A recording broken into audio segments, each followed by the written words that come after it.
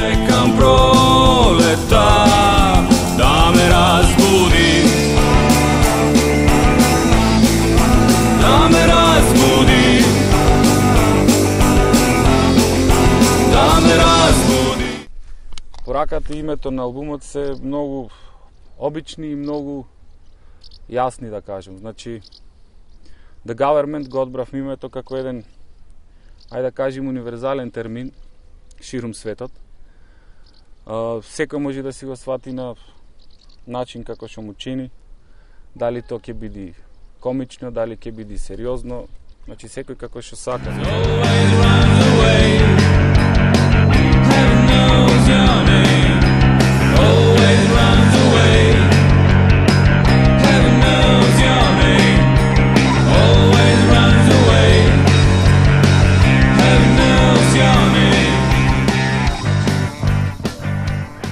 се работи за една како да кажем социоекономска една животна слика кај кај луѓето, значи се она што не обкружува и се она што го живееме во овој период, па и тој период малку подминат.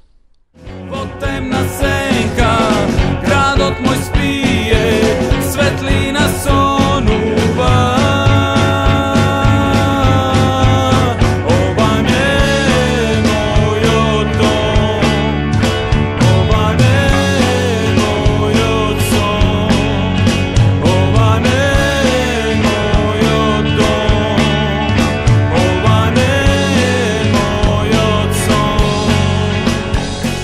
Комуникацијата помеѓу бендовите и локалната власт, односно таа динамика е доста е, тромава бидејќи не секогаш излегуваат во пресред локалната власт, а, а тој е еден од поголемите проблеми кои што ги имат независните бендови, а, она што тие го барат како за подобрување е да се има слух према нив. А, не секој бенд остварува некое си некакво мастер дело или креативно дело или не знам што, ама сепак тоа се работи за авторска музика и треба подобро да се обрни внимание према нив, према сите. радост,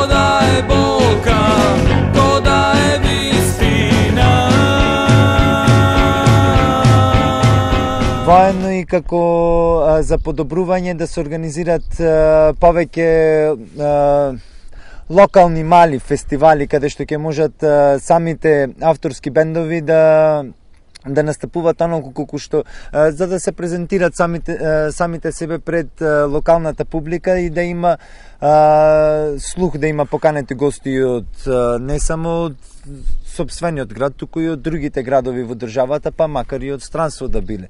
Да се знае што е добро, да се знае што е лошо. Значи пред се а, да се има слух за сите, тоа е многу битно. И колку што се може да се поддржат таквите работи, бидејќи тука е спаѓање на културно наше богатство. Run, baby, run,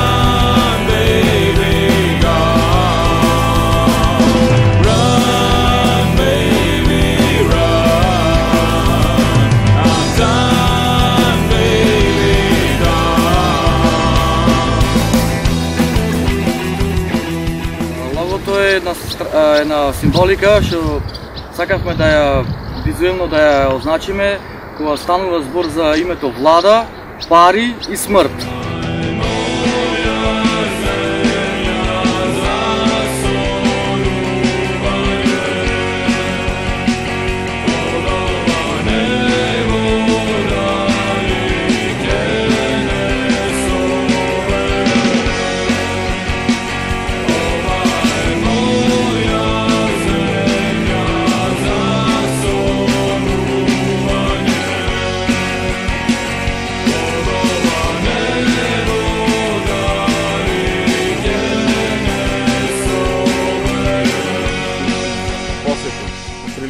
Фестивали, сум имал и среќи да свирам на големи фестивали надвор од државата.